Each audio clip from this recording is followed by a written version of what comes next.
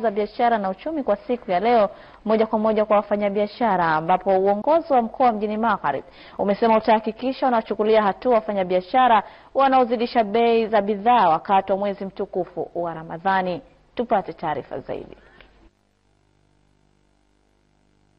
Mkuu wa mkoa wa Mjini Magharibi amesema inafahamika wazi kuwa baadhi ya wafanyabiashara wanatabia kupandisha bei kipindi cha mwezi mtukufu wa Ramadhani kwa maslahi yao binafsi.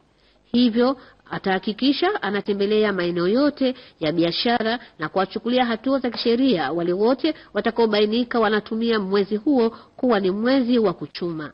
Wapo baadhi ya wafanyabiashara wasiokuwa waaminifu wamekuwa na tabia ya kuongeza bei ya bidhaa pasipo na katika kipindi hiki kwa kawaida serikali huwa inapunguza kodi kwa baadhi ya vitu, na hili Mheshimiwa Rais wa Zanzibar ameshalieleza.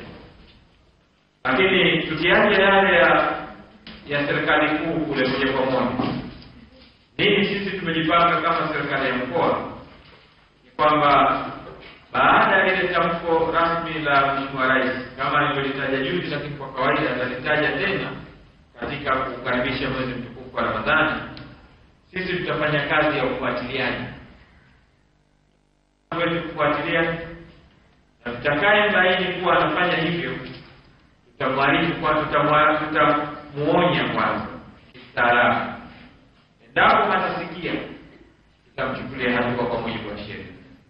Mkuu wa mkoa ametumia fursa hiyo kwa kuwaomba wafanyabiashara kutoa ushirikiano kati yao na uongozi wa mkoa katika kuhakikisha wananchi wanapata mahitaji yao ipasavyo katika kipindi cha mwezi mtukufu wa Ramadhani.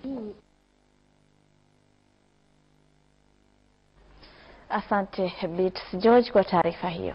Na mtazamaji wa shirika la utangazaji Zanzibar, sasa kamera